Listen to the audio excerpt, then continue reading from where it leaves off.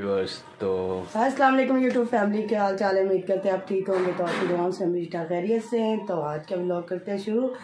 तो व्लॉग शुरू करने से पहले अगर आपको मेरे चैनल पे नए हैं तो चैनल को कर ले सब्सक्राइब और प्यारा सा करें कमेंट। और बेल लाइक को दबाना मत भूलिए क्योंकि हर आने वाला ब्लॉग आप तक पहुँचता रहे तो अभी वैसे आज हम कुछ अहम बात करने वाले हैं जिस तरह कि आपको पता है कि तो वो अहम हाँ जी वो अहम बात ये है कि वो बच्चों के सिलसिले में बात करेंगे। तो जो मशहूर हैं यूट्यूब पर हाँ जी।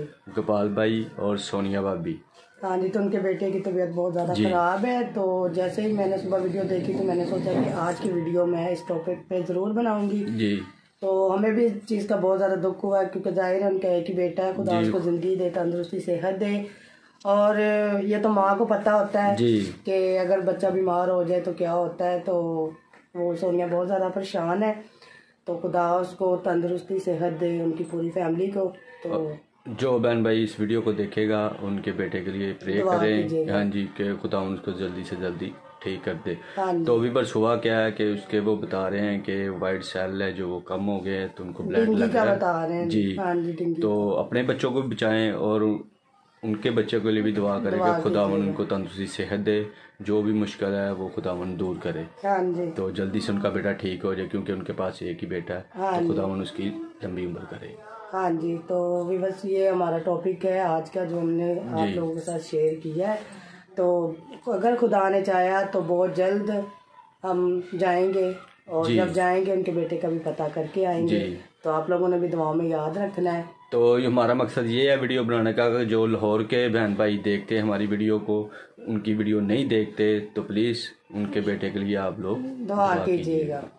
तो खुदा उसको ज़िंदगी दे और। तंदुरुस्ती दे। तो मैंने तो रात को भी वीडियो देखी तो मैंने बहुत ही चीज़ का दुख हुआ तो मैंने ज़ाहिर है कि औलाद औलाद ही जी होती है। किसी के भी बच्चे हों हाँ बीमार हो जाएँ तो फिर वो माँ बाप के लिए बहुत परेशानी बन जाती है। हाँ जी तो रात को भी हॉस्पिटल लेके गए थे सुबह को भी लेके जा रहे हैं टेस्ट करवा रहे हैं तो काफ़ी ज़्यादा मसला आ रहा है। जी।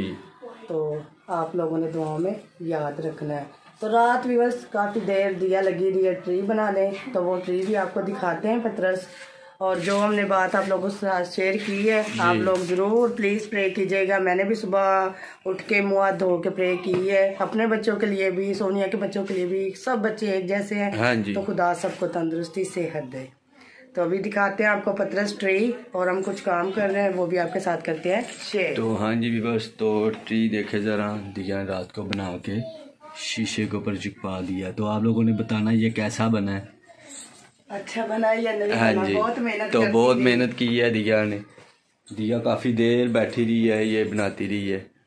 हेलो वर्स क्या हाल उम्मीद करते कि आप सब ठीक होंगे। तो बस जैसे कि पापा ने आपको ये ट्री दिखाया आपने कमेंट्स में बताना ये कैसा बनाया? और आपने मेरे लिए ज़्यादा से ज़्यादा दुआ करनी है कि मैं न्यू ट्री ले लूँ। हाँ जी।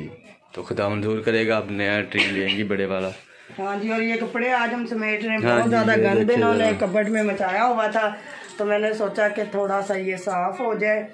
और ये मेरी चूड़ियाँ पहले की पड़ी हुई थी ये छन छन आपको वीडियो के अंदर आवाज़ आ रही होगी तो ये मैंने कल पहनी थी और आपने बताना कैसी लग रही है। हाँ जी तो अच्छी लग रही है। क्रिसमस पे तो मैं नई चूड़ियाँ लूँगी। जी क्यों नहीं?